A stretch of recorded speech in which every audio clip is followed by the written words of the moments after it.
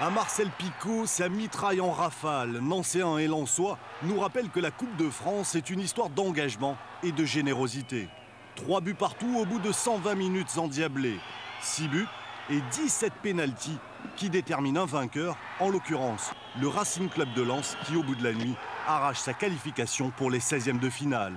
Le genre de victoire qui vous enivre à en perdre la raison et le sourire pour les perdants.